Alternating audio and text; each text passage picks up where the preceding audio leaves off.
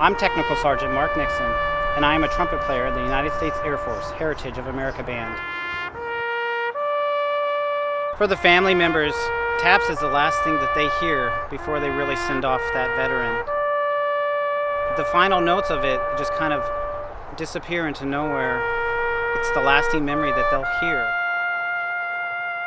It doesn't matter if the person served one year or served four years or served 40 years. It doesn't matter if the individual is 18 years old or 80 years old.